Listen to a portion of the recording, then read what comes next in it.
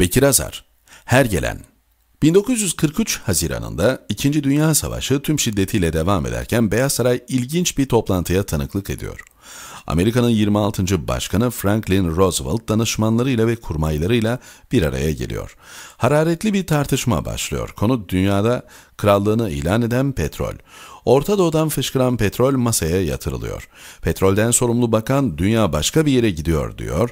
Petrolün artık dünyada hakim güç olacağını hem savaşta ama aynı zamanda da barışta da büyük silah olacağını vurguluyor.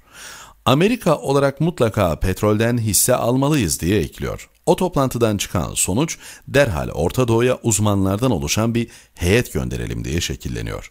Heyet Orta Doğu'yu turluyor ve dönüşte bir rapor sunuyor. O raporda petrol yaratıcının insanlığa bahşettiği en büyük zenginliktir.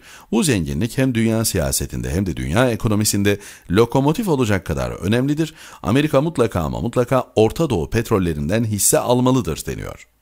Beyaz Saray acil koduyla tekrar toplantıya gidiyor. Dönemin Dışişleri Bakanı Orta Doğu'da şu an hakim güç İngiltere. Dolayısıyla petrol yataklarında onlar hisse sahibi. Biz de hisse almaya kalkarsak sonuç olarak İngilizlerin pastasına dalmış olacağız diyor. Ardından ekliyor. Asıl soru şu. Madem petrole göz diktik, patron İngilizlerden ne kadar hisse alacağız?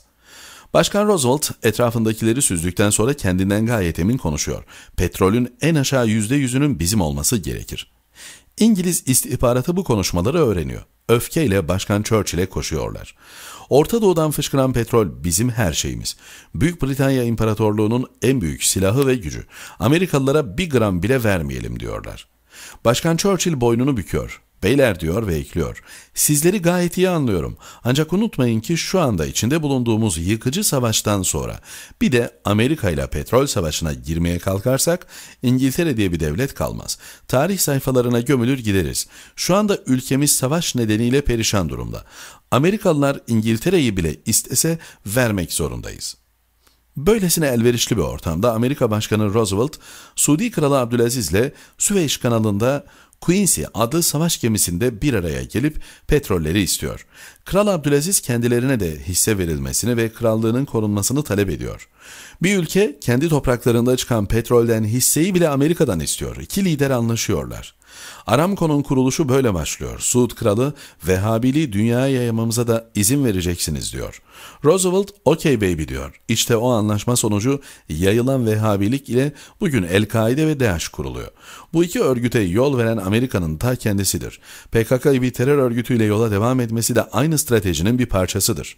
Terör örgütleri petrol, doğalgaz hatlarının Amerikan uşağı gece bekçileridir.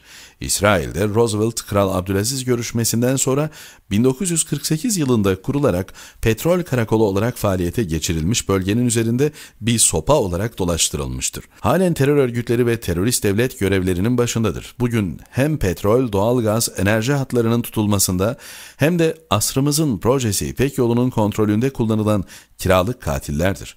Dünyada bu kanlı ve kirli tezgaha çomak sokabilen tek ülke Türkiye'dir. Suriye'de dahi PKK'ya petrol fışkıran bölgeleri işgal ettirmeleri boşuna değildir. Türkiye elindeki 3 milyon mülteci ile o bölgelere girecek diye kabus yaşamaktadırlar. O yüzden Afrin'e Amerikan zırhlı araçlarıyla terörist yığınağı yapılıyor. Ancak bizim aslanlar onları birer birer toprağa gömüyor. Amerika güdümünde Afrin'e sürüler halinde her gelen hergele imha oluyor. Buna mahkumlar, bitecekler. Bekir Azar, Takvim